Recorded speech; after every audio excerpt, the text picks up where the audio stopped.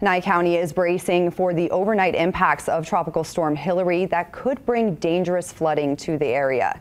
Monday classes have been canceled there, and the sheriff says emergency crews are now on standby, ready for rescues. Don't ever under, underestimate the power of Mother Nature. Uh, water can kill just as quickly as a car crash, and it's more quiet when you. As we feel Tropical Storm Hilary's impact, the town of Pahrump in southwest Nye County could experience a weather event unlike anything it's seen in recent history.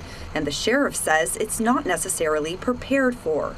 Our infrastructure here in Pahrump and in Nye County altogether is, is not prepared for a major rain event like this. Uh, we don't have flood channels. We don't have retention basins.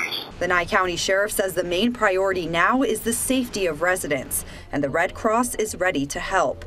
They started mobilizing their teams across southern Nevada late last week. We've been staging our equipment in various areas that we were worried about having washouts. So we've actually staged equipment to be able to support the Moapa Valley as well as the Pahrump Valley because of the tendency of the roads to wash out and having substantial flooding in those areas. The Red Cross opened an emergency shelter Sunday afternoon at the Bob Rudd Community Center in Pahrump. And the Nye County Sheriff says crews are prepared for rescue efforts in the aftermath of the storm. If we get calls of people needing assistance, we're going to do everything in our there.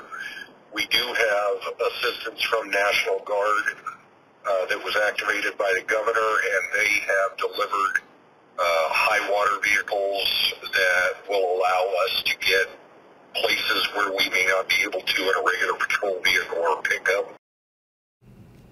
And in addition to the Pahrump site, the Red Cross has also opened an emergency shelter at the community center in Searchlight. But that shelter actually closed tonight because no one used it, but they say it might open again tomorrow. So here are both of those addresses if you do need shelter during this storm.